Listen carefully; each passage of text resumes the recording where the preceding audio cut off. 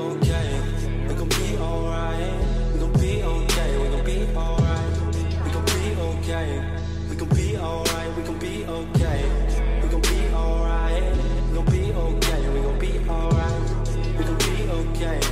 We gon' be alright. Must have been 211 when the world ended. At least it felt like it at the time. Teenage years make a heartbreak worse. Plus a lot was going on, couldn't stop it at the time. Dad tried to flip the house.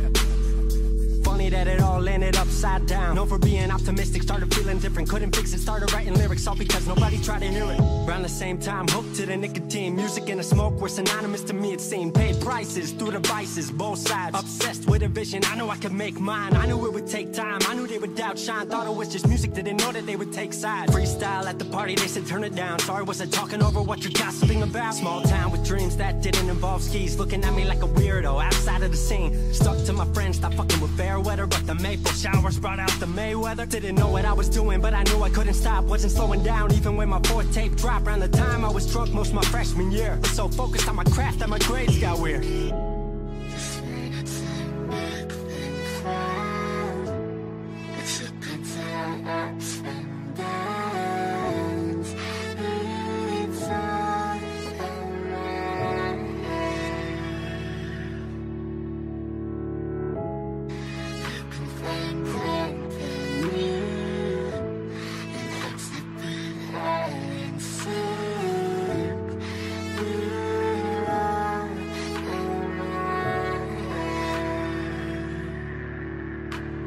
Thought I figured out I just wasn't made for degrees. Went home, then I went back early 14. All my friends had new friends, and I lived off campus in a dingy apartment on a twin bed mattress. Sucked, but I kept my grades up for a bit. I would kick it with some homies every now and again. But the Laramie cold was keeping me inside, and I was smoking on the green when I needed to write. Wasn't able to sleep or even write without it. And being alone made my anxiety spike. If I was hanging with the group, I was drinking that night. Couldn't handle being out without a drink in my sight. Was a mess working on the science of feeling tall. If it wasn't for that tape, I wouldn't get up at all.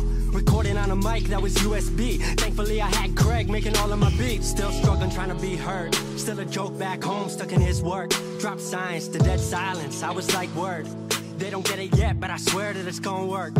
Went back home for the summer, met up with a girl that I used to love. But I was all messed up at the time because I couldn't deal with thinking about another end to us. She brought me back to life back in senior year. Couple months of that, and then she disappeared. She explained to me,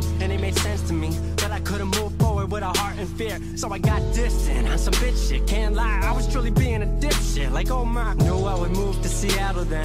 Home never let me stay too long, I guess.